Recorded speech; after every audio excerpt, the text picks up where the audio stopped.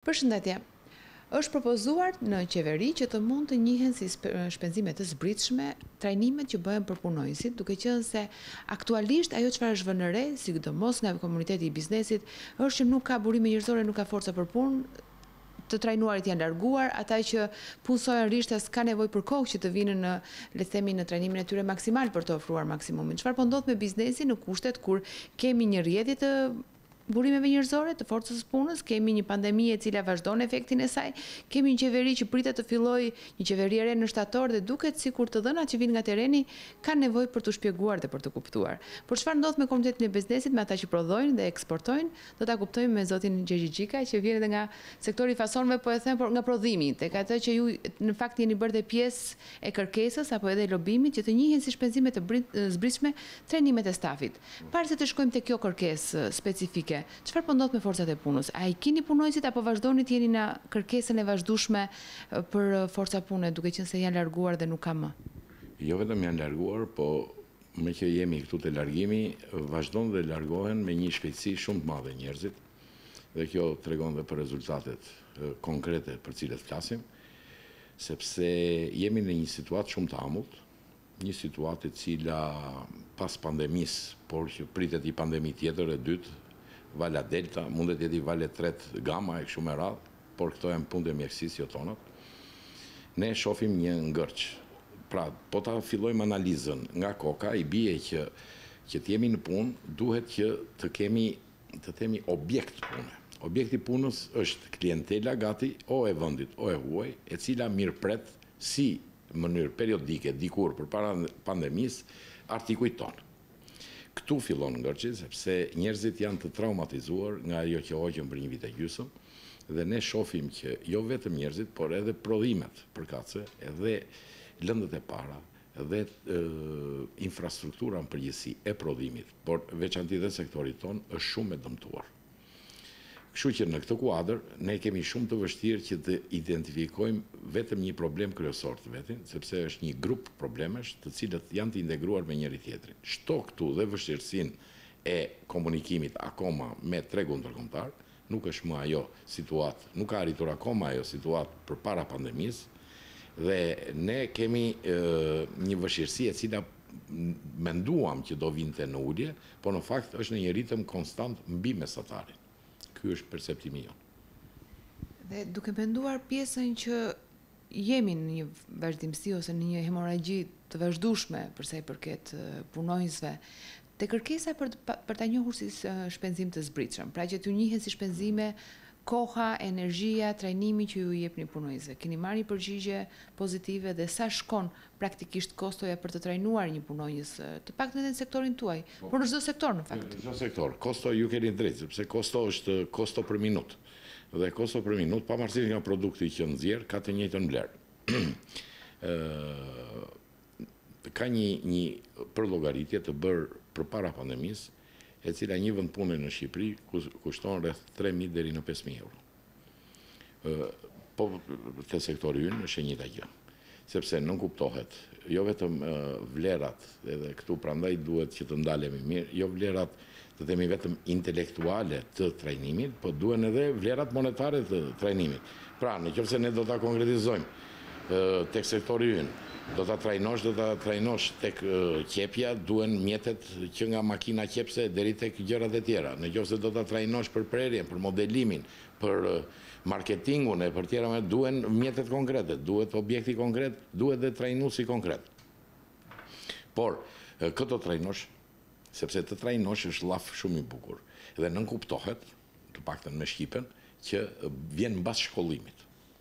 E para një herë ne kemi njerëz të cilët janë të paformuar në mënyrë profesionale në Shqipëri sot. Ata që janë formuar qoftë dhe pak në mënyrë profesionale, pra e ndjejnë që janë profesionalisht në iks apo ypsilon profesion, të denjë nuk i ke më këtu ose kanë tendencën janë me një këmbë jashtë e një këmbë brenda. Dhe kjo është problem shumë i madh. Dhe këtu duam s'duam ne është problem politik.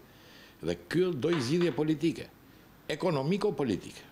Që këta njerëz të mos preferojnë të ikin jashtë. Përse ikin jashtë? Ne e bëjmë këtë pyetje sepse pa analizën shkak-pasojë është e pamundur që të japësh zgjidhje. Këta ikin jashtë sepse jashtë për të njëjtin volum pune, për të njëjtën punë, sipas tyre, sipas, ë, marrin, paguhen më mirë.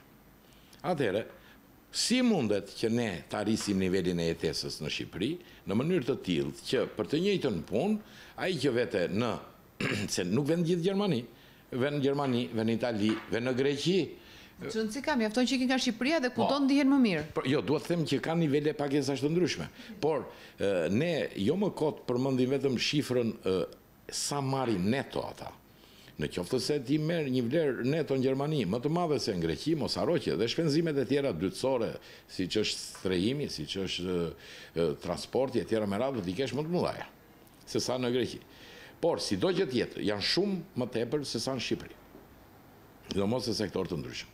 Kjo nuk realizohet dot vetëm me propagandë, koha e propagandës mbaroi, sepse në fund të ditës njeriu bën llogari çfarë ka në shpi dhe sa arkëtoi dhe sado që Ata që bëjnë propagandë nga mëngjezi në darkë, do t'i mbajnë njerëzit në, në tonus, kalon dita parë, dita dytë, dita tretë, edhe më budallai e kupton që kjo është propagandë e thjeshtë. Nuk bëhet, unë e kam thënë dhe më përpara, po e them, nuk bëhet as rritja e pagave, as rritja e nivelit të jetesës së një kombi pa punë.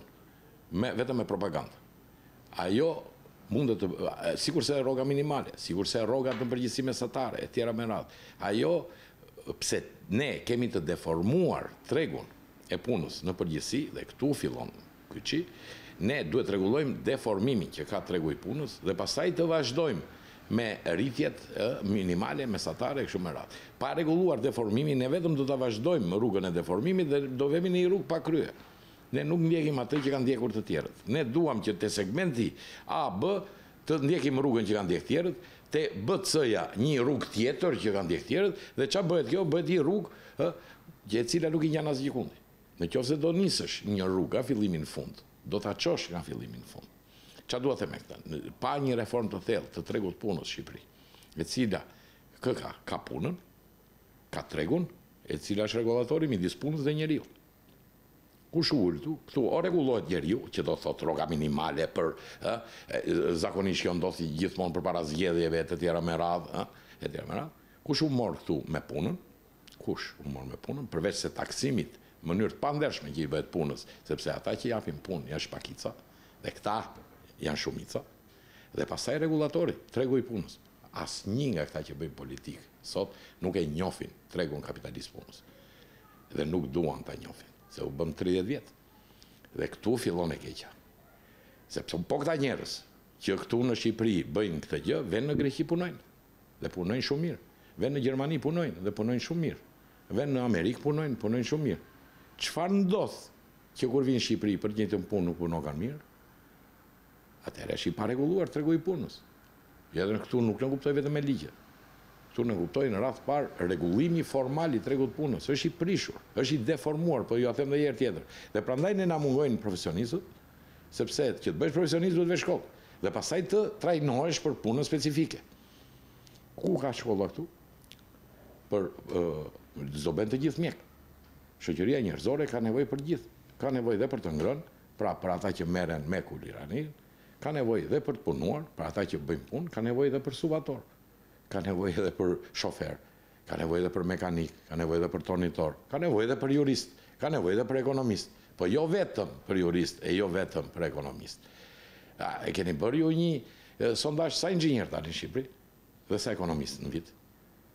Sa, ë, sa dalin do do të tmerrohesh nga shifrat që do shofësh. Pse? Sepse puna e ekonomistit, sa juristë dalin në Shqipëri, dhe sa punë sociale dalin në Shqipëri, dhe sa inxhinierë dalin në Shqipëri, dhe sa agronomë dalin në Shqipëri, është disproporcion shumë i madh. Pse? Se jeta i ka mësuar që te ato zanate nuk fitohet lek, nuk fillon dot punë në shtet, e kështu me radhë. Nëse unë jam kundër parimit të punësimit në shtet, po, më duket më duket mënyra më më e vlerësuar për propagandë punësimet në shtet. E lem këtë pjesë, sektorin që pavarësisht kanë unë. Ka vende pune në Shqipëri dhe jo një dhe dy, për inxhinier. që të mirëpaguara. Po të bësh atë çfarë ju ngel në xhep mbas harxhimeve. Janë aty aty me me me inxhinierët në Gjermani apo më, më larg. Por nuk i shef njeri me sy këto. Dhe vijnë, e di, shumë kompani kanë inxhinjerë të huaj sot, që janë të mirë të paguar. Po ne vetë kemi te kompanitë tona modelistë, ë, ose në pikat nevralgjike, ë, teknikë të huaj, të cilët marrin një pagë shumë të mirë. Pse mos ta marrin shqiptarët? Sepse nuk kemi. Janë me shkollë me gjithë. Ne do të mbetemi këtu tek kjo pjesë, sa investohet për trajnime duke qenë se arsimi profesional i ka ikur Ministrisë së Arsimit, i ka kaluar Ministrisë së Ekonomisë, është bërë një le të themi një lëmsh që s'po e kuptojmë dhe rezultatet i vuani ju që ju vijnë punonjës të patrajnuar.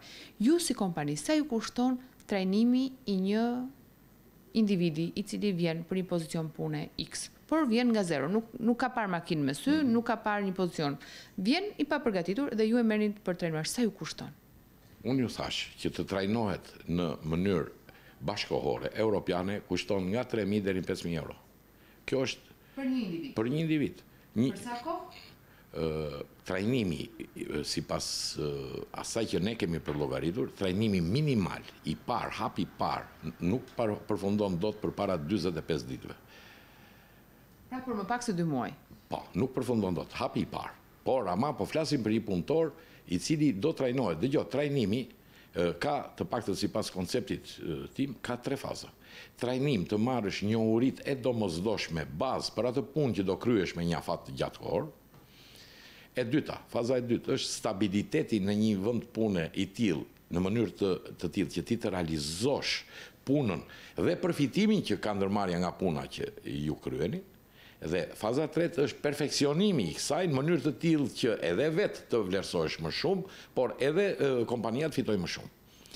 Ky raport në Europë është diku te shtatëdhjetë me tridhjetë.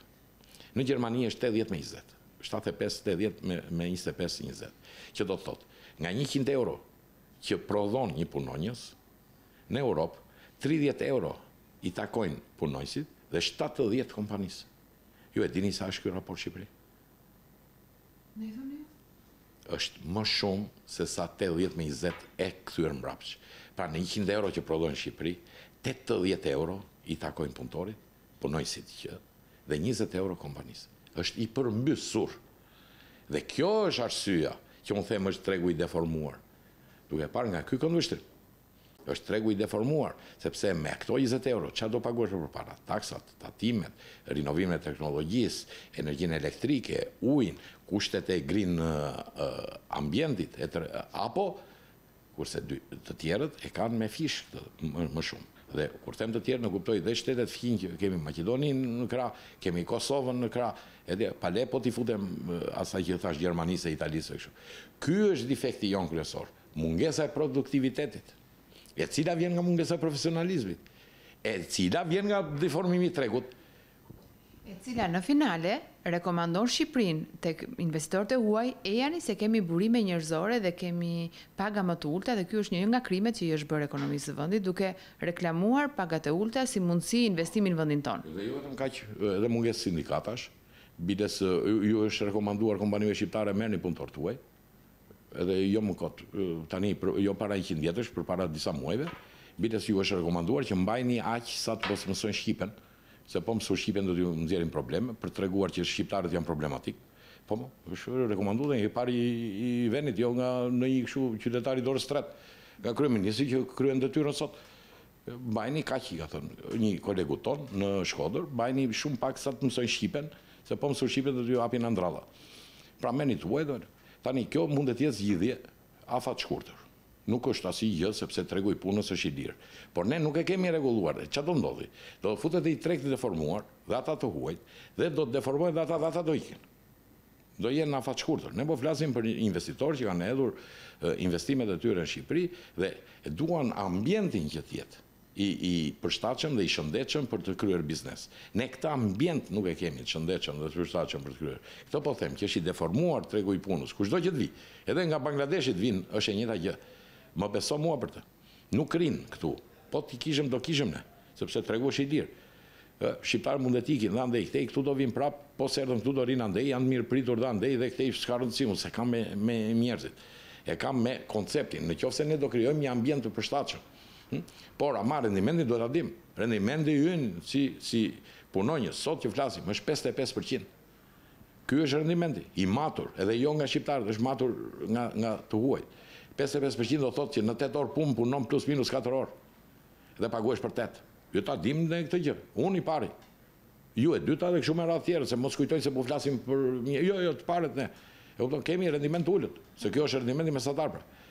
Edhe ne i bie që sot që është rroga minimale 300.000 lekë ose 30.000 lekë. I bie që që ka 60 Që ka gjashtëdhjetë, sepse ti po merr për katër orë, jo për tetë orë. Pavarësisht se vjen në punë tetë orë, katër orë punoke. Është mesatarja, është e matur nga GIZ-ja. E kanë studimin atje, interesohu, e kanë në ambasadë. Nuk e kanë bërë publike, po unë e di. Arsyeja pse ne po bëjmë këtë bisedë, nuk ka të bëjë vetëm me faktin që ne vijmë pas një goditje shumë të madhe që është pandemia dhe është goditje botërore, kështu që ringritja do të jetë ashtu si rrjetat, sepse do ringrihet dhe do ringremë njëri tjetrin, do ringrihet ekonomia, por ne kemi këtë problemin e madh që nuk kemi të mbështetur nga brenda me gjithë infrastrukturën e nevojshme për shkak të punonjësve. I shtojmë këtu edhe efektin e pandemisë, i shtojmë efektin e tërmetit. Pra, jemi në një periudhë ku ju si investitor, kur mendoni që me gjithë këto goditje që i janë bërë ekonomisë, që janë goditje të jashtme, me problemet e brendshme që kemi me tregun e punës, kur do mund të fillojmë të ndryshojë kurba nga rënia në ngritje?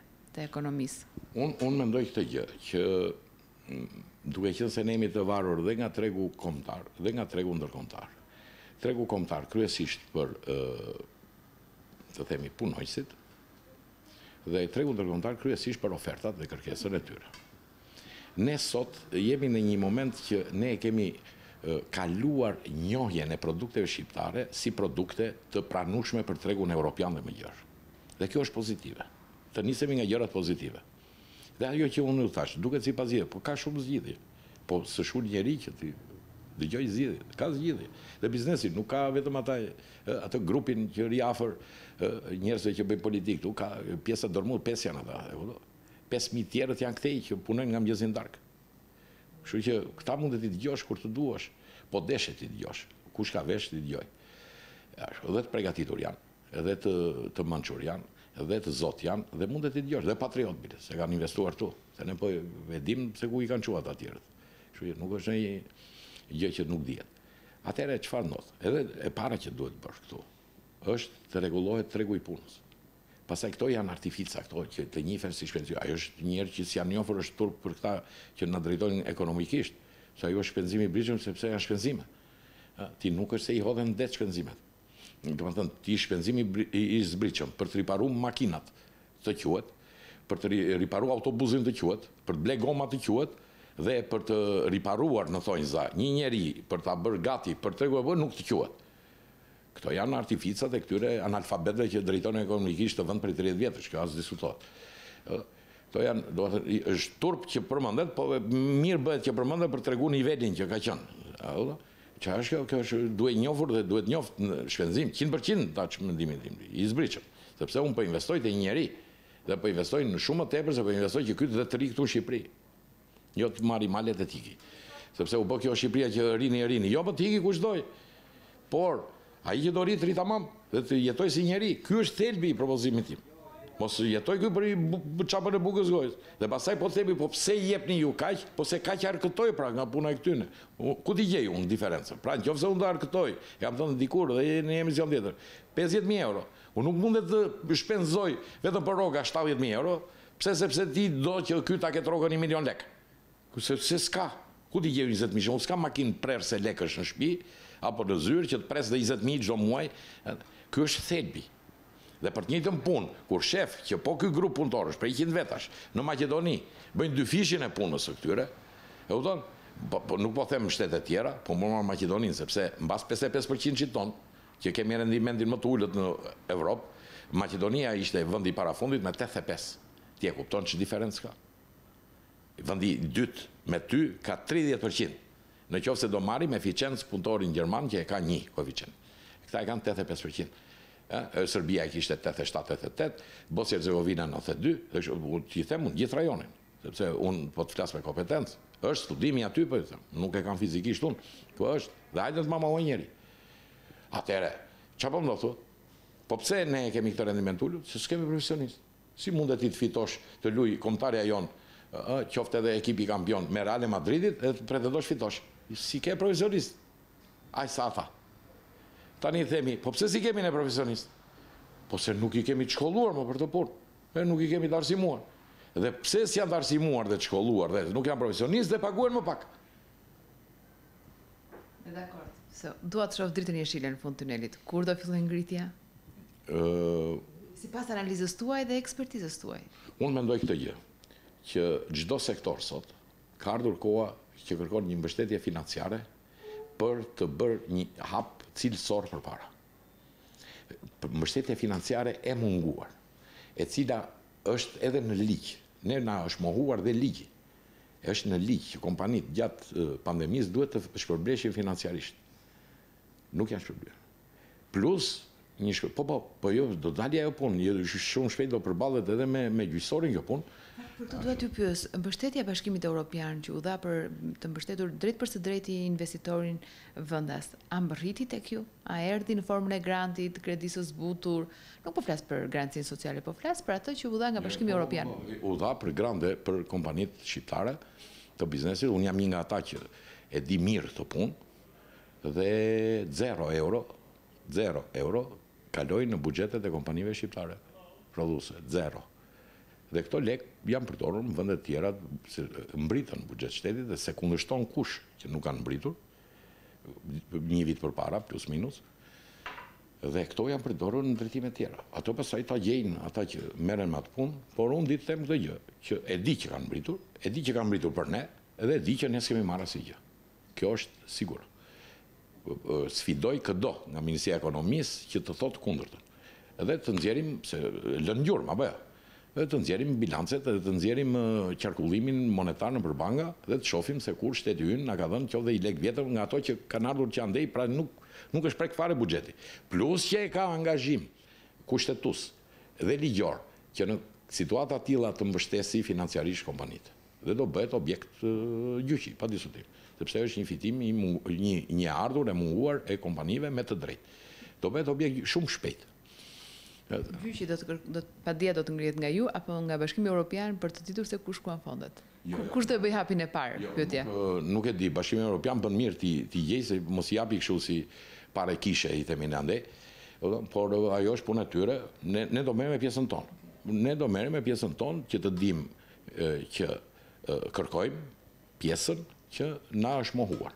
Është njësoj sikurse dikujt që i takon të marrë një rrogë të caktuar dhe nuk e ka marrë atë rrogë, kur me letra i takon që të marrë atë rrogë. Do bëjë një seancë gjyqësore dhe dhe do marrë shpërblimin përkatës. Kjo as diskutohet. Pastaj hapat e tjerë mbas saj do t'i shihni, sepse nuk mundet. Me ne është tallur keq biles. Dhe kjo tallje duhet të përfundojë. Kjo duhet të përfundojë. Po përfundon, po mirë është të përfundonte domethënë sa më shpejt. Dhe pa mbaruar kjo tallje ne nuk mund të shohim dritë jeshile. Sepse askush nuk na garanton që mbas talljes së parë dhe mbas reagimit zero nuk vjen tallja e dytë. Kjo ky është thelbi. Prandaj dhe unë i shmangem përgjigjes tuaj kur ka dritë jeshile. Nuk ka dritë jeshile në qoftë se nuk ndryshojnë rregullat e lojës dhe në qoftë se qeveritë nuk janë demokratike me biznesin të paktën. Nuk janë. Sot po flasim për një qeveri që është sjellë në mënyrë jo demokratike me biznesin. Gjatë një periudhe shumë vështirë. Si ka mundësi, pyetja ime, si ka mundësi që në vitin më të vështirë të shekullit nuk u mbështet me një euro të vetme biznesi shqiptar? Si ka mundësi? Atëherë, për ç'a i paguajmë ne ato sigurimet shëndetësore, shoqërore, ato taksat e tatimet, se i bie çdo gjë vlera. Po ju e dini sa mijëra shqiptarë u sëmurën me këtë sëmundjen e shekullit? Po ku vajtën këto sigurime shëndetësore? Nuk u dha një aspirinë falas A dini ju ça bëjnë shtetet tona fqinj? A e dini? A shikoni? Edhe i shifni se ça është. Po si qenka kjo? Një aspirinë po them falas, që thotë po, ti ke paguar sigurime për tridhjetë vjet. Unë kam paguar sigurime tridhjetë e kusur vjet. Një aspirinë! Kush është më e lirë apo mbase është kardiopirina, ku e di unë. Kush është kokrra më e lirë? Nuk u dha. Një vitaminë, një, tek, tek, jo me kuti, larg qoftë. E kupton? Ashtu. Një vitaminë tek. Edhe t'i mbush mendjen këtij çuni të them që jo, do vazhdosh paguash sigurime shoqërore prapë ti se kur sëmuresh ti, ë? Ja u smura pra thotë. Atëre del jashtë loje komplet. Pra, ti financiarisht nuk e mbështete, pra taksat e tatimet nuk u kthyen në të mirë materiale, qoftë për biznesin, qoftë për punonjësit, Sigurime shoqërore shëndetësore nuk u kthyen në të mirë, atëherë bie komplet. Kjo është tallje. Në letërsi, po të kishim një zysh letërsie do ta quante sarkazëm.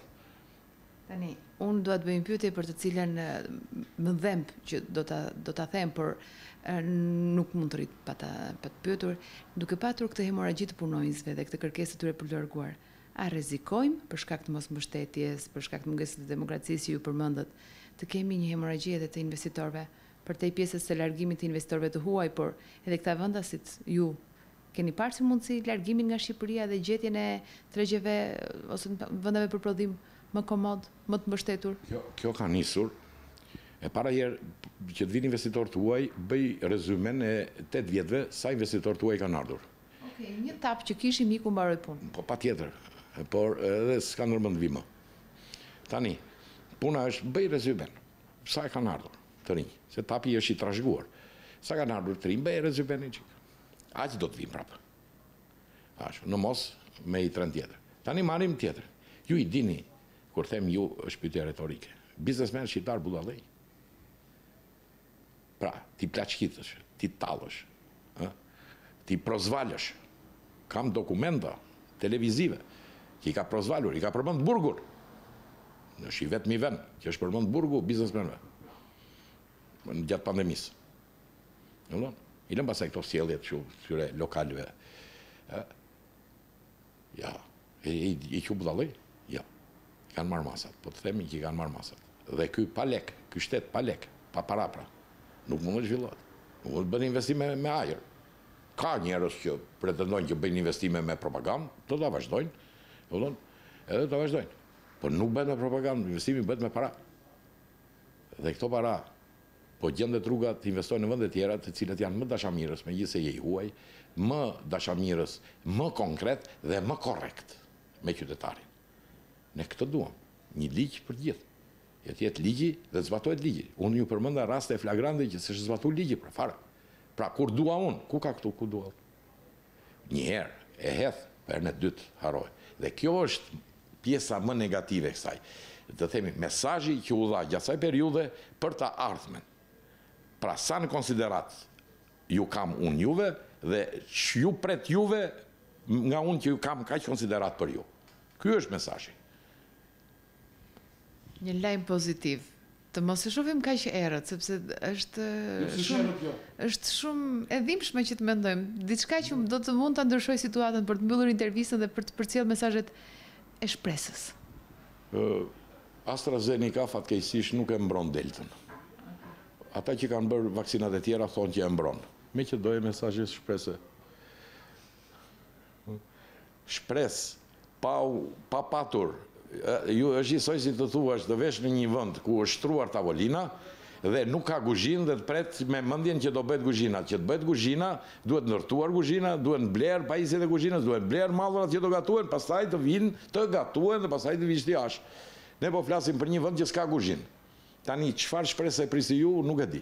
Do të shihni në ditët që vijnë në vijim. Bëni një llogaritje, sa lekë buxheti i ka mbledhur këtë vit, sa ka mbledhë viti që shkoi, sa është previzioni për të mbledhur, shihni situatën financiare, ekonomike, makro në Shqipëri dhe më kuptoni çfarë po them unë.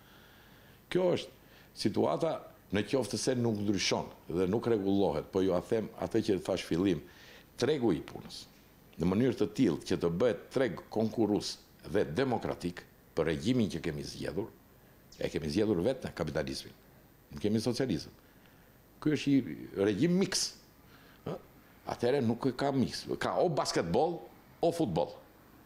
Po luajte futboll, do luash me rregullat e futbollit. Dhe po luajte basketboll me rregullat, jo nuk ka kështu një ndeshje të përbashkët. Nuk ka, nuk bëhet.